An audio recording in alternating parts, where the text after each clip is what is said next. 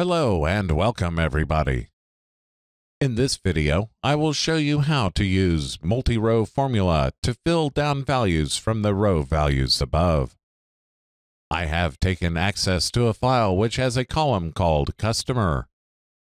And you noticed in that column, one name appears, and against them there are a lot of blank cells beneath it.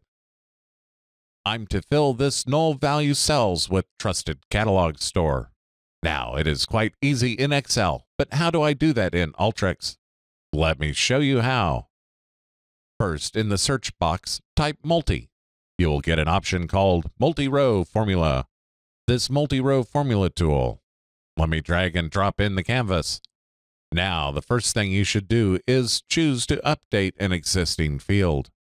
And then choose the field name, customer, because that's where all the null values exist. And you'll want to replicate the value from values above.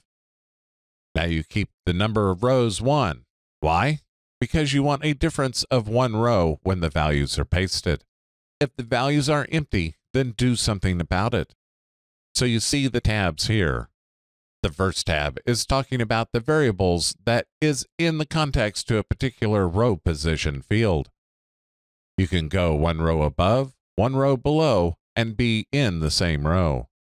On the other hand, you have something called functions, which talks about different kinds of logical functions, date, time, and so forth. So let me go to variable, and let me start typing the expression which will allow me to fill up all the empty values above.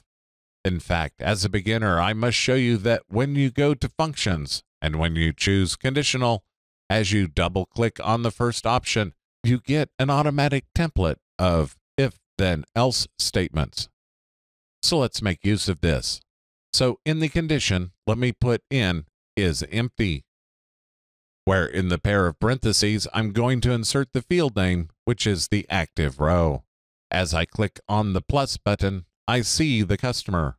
This is referring to the one value of the customer field.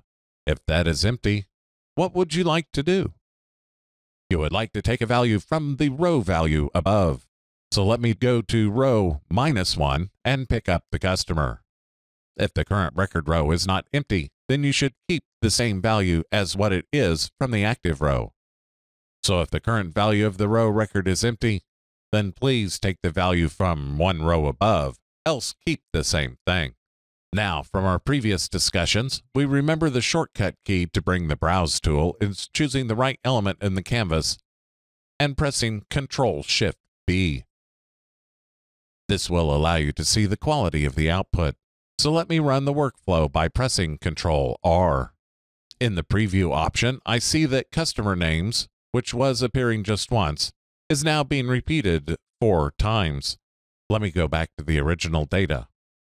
There you go. There were three blank null values, empty values. So now when I go to the Browse tool, it shows me the data's quality, and the preview window verifies what I aim to do. So friends, we used a multi-row formula tool to fill up the empty records from the row above.